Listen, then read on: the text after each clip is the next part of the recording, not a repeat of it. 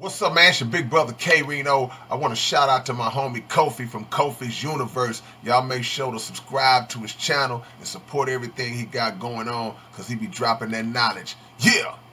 YouTube salute. So Fat Joe, he did a Zoom interview with Hip Hop DX and he explained how important it is to practice inclusivity in the culture. Let's talk about it. If you're new to my channel, thumbs up that video, hit the subscribe button click the bell icon to be notified when I upload new content and go live. So this is what he said. I really believe in YOLO. You only live once. You only have one life to live. Just want to maximize everything artistically and creatively that I can while I'm here and to leave a legacy long after I'm gone so people could still play my records, play my TV shows every day. So that's all I'm doing. I'm all about the culture. When I signed and growing up in the Bronx where hip hop was created, I was taught to love everybody. I was taught to like hip hop. It's almost a religion. It was almost diverse. It was always black, Latino, white, Asian, whatever. We were always taught to embrace everybody who loves hip hop music. And so I have an obligation to that. I have a responsibility to the culture that far exceeds financial gain or wealth. It's the wealth of the culture preserving the culture. Um, he's right. He's right because we have to educate the next generations. You know, it's the truth. And he continues by saying, The youth call me some of the biggest rappers on earth. They call me and say, Big homie, could you give me some advice about this? Can you give me some advice? I'm talking about the biggest I won't say no name, but imagine the biggest rappers on earth right now. They call me, they say, Big homie, give me some advice on this and this. And I tell them, yo, move like this, watch yourself too. And that's what it's all about. And I want them to do the same when they become uh, the OGs of the generation behind. You know what? I agree with him. I agree with him. Because I'm going to tell you something right now. A lot of people don't understand at the end of the day it's more than just you know walking your path. Like it's when you were a child when everybody was a child right? Remember our parents raised us. Some people come from single home families. Only your mama raised you your daddy raised you only maybe both of your parents. Maybe you come from foster homes group homes whatever. There was always some guardian over you. And then there was people outside of the guardians like the teachers the educators. Then you had people you met, maybe your uncles and aunties and grandparents and older cousins, maybe it was people in a gang, whatever. But there was always somebody teaching you something about life. And when he mentions hip hop is like a religion, I can see that because it's your investment. Anything in life you put your investment in is going to be a religion. Some people put their investment in Christianity. Okay, that's fine. Some people put, put their investment into health, like me.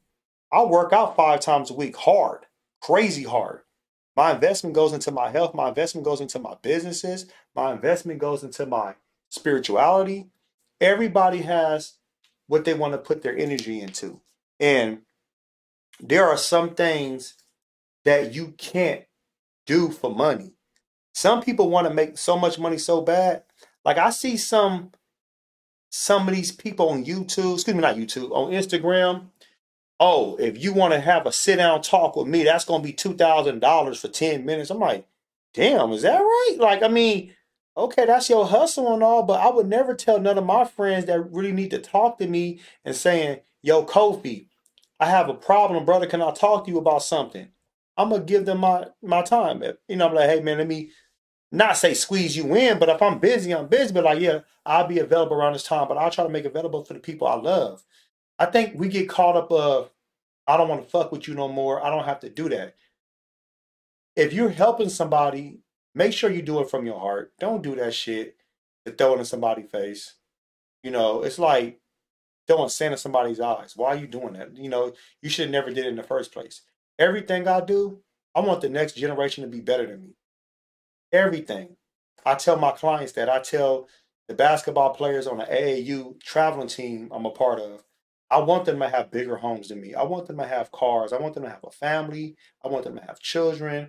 I want them to, you know, whatever they're doing in their life. Some of them might go to college and play basketball. Some of them might go to the NBA and play, but that's not their life. That's one chapter in their autobiography. So you understand what I'm saying? You're going to still do something afterwards. You don't have to ever come back and say, hey, Coach Kofi, here's, you know, thousand dollars. Like, nah, go ahead, live your life, man. Just be a better, be a better mentor to me. Be a better, better vanguard to me. I care about stuff like that because there's things I try to give back to my father. My dad like, no, I did that from my heart. I was supposed to. I'm your father. You don't owe me nothing. You don't. And that still touches me to this day that my dad said that. I have mentors right now, some great godmothers. I have, you know, some professors in undergraduate and graduate school that taught me so much and helped me, putting me in great positions when I got to the next level. Everything I was doing supported me. And even though I try to pay them, they're like, nope, we did that from the heart. So it's always there's money is good, wealth is good. I'm never gonna take that away. But there's some things money can't buy. Like Ralph Tresvant said, money can't buy you love, can't buy you happiness. Mo' Money, soundtrack, y'all. but um, no, you can't buy everything, and some things is priceless. Some things are priceless. So just be aware of that. And if you don't want to do it from your heart, don't do it at all. Because that's that can cause problems in the long run with a lot of family ships, friendships, relationships. Post your comments below. Hulk smash Black Panther the like button, subscribe to my channel. Click the bell icon to be notified when I upload new content and go live.